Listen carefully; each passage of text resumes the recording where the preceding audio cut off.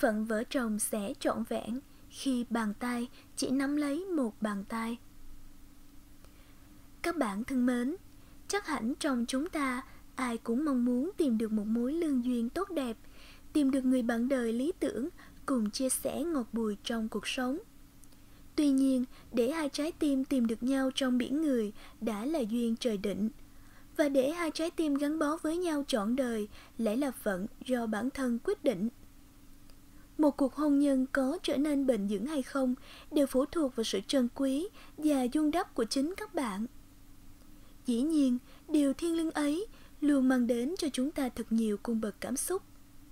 Nhân đây, lịch ngày tốt muốn gửi tới các bạn câu chuyện nhỏ về duyên phận vợ chồng, thứ duyên mà như nhà Phật đã nói, tu trăm năm mới ngồi chung thuyền, tu ngàn năm mới cùng chung chăn gối. Có một anh chàng tên Đậu, ngay từ khi chào đời, chàng Đậu đã bị gọi là ngốc, được cái tính tình anh lương thiện, vì thế mọi người quý mến. Nhà Đậu tương đối khá giả, nên đã bó tiền mua một cô gái về nằm dở cho cậu. Đêm tân hôn, Đậu len lén đến bên cạnh cô dâu. Cô dâu khóc òa lên, xót xa cho một số phận hẩm hiu. Chỉ vì gia đình không có tiền nên mới phải lấy cái gá khờ khảo này. Đậu thấy vợ khóc thì hỏi Vợ ơi vợ ơi, vợ làm sao thế? Có phải tải đậu không?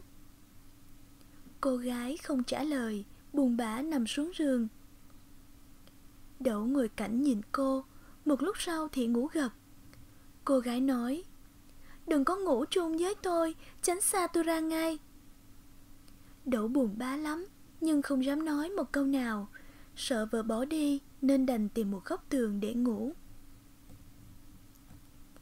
Cưới nhau được mấy ngày Trong nhà cần phải mua mấy thứ Nên Đậu cùng vợ đi chợ Hai người mua được rất nhiều đồ khi đi qua một cửa hàng đồ trang sức, Đậu nhìn thấy một cây châm cài tóc rất đẹp, nên dừng lại hỏi bao nhiêu tiền. Người bán nói 200 ngàn. Cô gái vốn không có tiền, nên nói với Đậu rằng mình đã có cài tóc rồi, không cần phải lãng phí tiền đâu. Bản thân cô cũng không muốn người trong nhà Đậu hiểu lầm. Đậu thấy dở không mua nên tự mình mua luôn, rồi nói Em đã là vợ của anh, phải biết cách anh mặc cho đẹp chứ. Nói xong, đậu lấy tiền trả cho người bán, rồi cầm cây châm đưa cho vợ. Cô gái rất ngạc nhiên và động lòng trước cử chỉ quan tâm chân thành của Đậu. Từ hôm đó, cô dần dần chấp nhận người chồng ngốc nghếch này.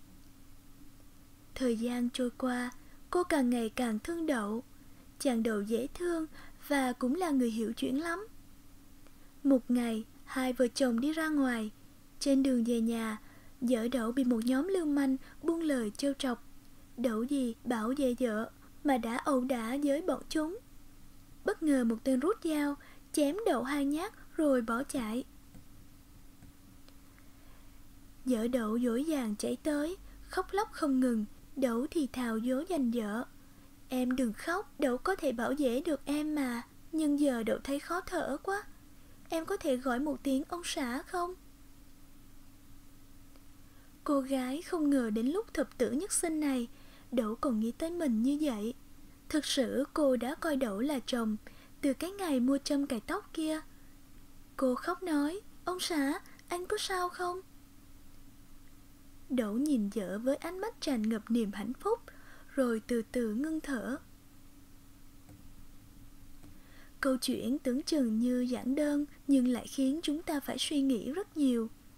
Chàng trai ngốc nghếch vì người khác mà hy sinh chính bản thân mình nhưng có thể thấy ở đậu một tâm hồn rỗng lưỡng anh biết rõ người vợ rất cần anh bảo vệ anh thực sự yêu thương người vợ của mình ngày nay người ta yêu nhau xưng hô chồng chồng dở dở nhưng dường như chưa hiểu được duyên phận vợ chồng hãy nhớ đã gọi ai là vợ rồi thì đừng làm cho họ bị tổn thương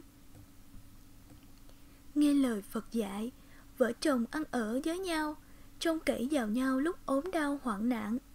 Chứ lúc khỏe mạnh, thảnh thơi, chắc gì ai lại cần tới ai.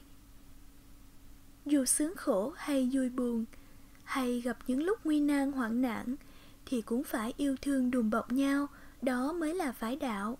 Đạo nào sâu cho bằng duyên phận vợ chồng. Người chồng là tay trái người vợ là tay phải. Tay trái sờ tay phải không có cảm giác gì nhưng nếu đến một ngày tay trái chảy máu tay phải nhất định sẽ giúp cầm máu. Rồi tay trái ngứa ngái tay phải nhất định sẽ gái ngứa cho tay trái. Có một ngày, tay trái cầm đồ mệt mỏi, tay phải nhất định sẽ giúp tay trái bưng đồ.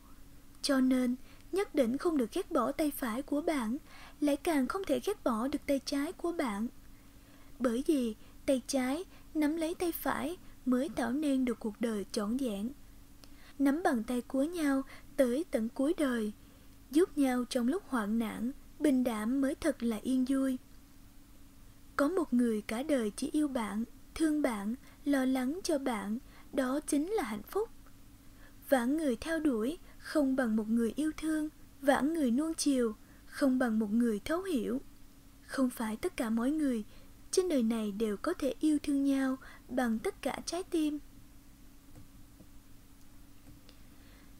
Những ai đi lướt qua đều là cảnh những người đụng phải vai đều là khách. Người nhớ bạn, yêu bạn mới là người chia sẻ ngọt bùi cùng bạn. Duyên phận vợ chồng sẽ trọn vẹn khi bàn tay chỉ nắm lấy một bàn tay. Hãy trân trọng trân trọng bạn nhé.